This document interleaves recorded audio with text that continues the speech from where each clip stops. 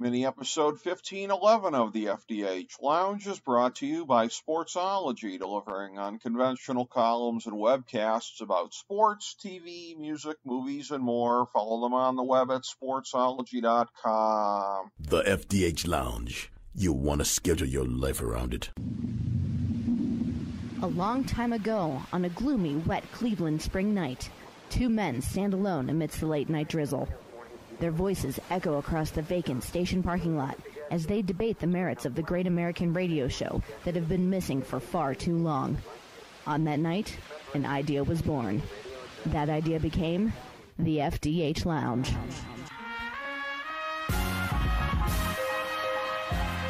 Welcome to the FDH Lounge. Hello and welcome to FDH Lounge Mini episode 1511, our review of the big summer hit The Old Man on FX and Hulu. I'm FDH Managing Partner Rick Morris here with our top five notes of interest about Season 1. Number 5. The Old Man features the hunt for Dan Chase, a former CIA operative who went into hiding after a mysterious event in Afghanistan in the late 1980s while he was working with the resistance to the Soviet occupiers. Played by Jeff Bridges in an incredible role, the widowed Dan is forced on the run after being stalked by assassins in the employ of a mysterious old enemy, and in his adventures, he proves to be far more than what initially meets the eye. Dan's late wife had been the wife of an Afghan warlord that Dan was working with, and she and Dan had a daughter who worries about her father from afar. When she grew up and moved out, they started communicating by burner phones only. While on the run, Dan befriends a divorcee named Zoe McDonald, played by Amy Brenneman, who initially becomes a captive when Dan is smoked out and later she becomes a willing accomplice. The FBI Assistant Director for Counterintelligence, Harold Harper, played to perfection by John Lithgow, is assigned to bring Dan to custody since the two worked together in Afghanistan back in the day. His assistant and beloved protege, Angela Adams, becomes ensnared in the case in ways greatly unforeseen. Number four, the number of locales involved in the show go far, far beyond what looks at first to be a manhunt throughout rural America. Part of this stems from the fact that Dan had been poking his head up over the years, maintaining some business interests that financed his family life and his daughter's education, and the contacts that he has made in a variety of ways manifest themselves in his life on the run.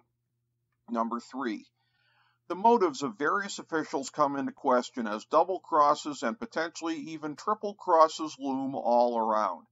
Dan's case turns out to be incredibly complicated, and string pullers throughout law enforcement and the spy world are all pursuing their own interests. Number two, Flashbacks to Dan's final days in Afghanistan are sprinkled throughout the season. Dan, his future wife, and the warlord that she was still married to are shown in many tense scenes. Also, scenes with Dan, his wife, and their daughter back in America are shown as well, fleshing out the various issues with the characters that manifest themselves in the present situation. Number 1. Dan's daughter Emily turns out to be way more important to the resolution of this case than anyone would believe at the outset. There are not one but two major developments concerning her that turn out to be crucial to absolutely everyone on the canvas. Each one makes the case far more personal for different people. These twists are emblematic of the season as a whole, which does not proceed the way you think it might from the commercials and the pilot.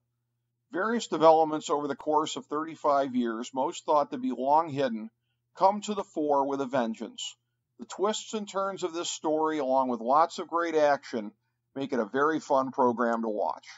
Thank you for joining us for this mini episode of the FDH Lounge.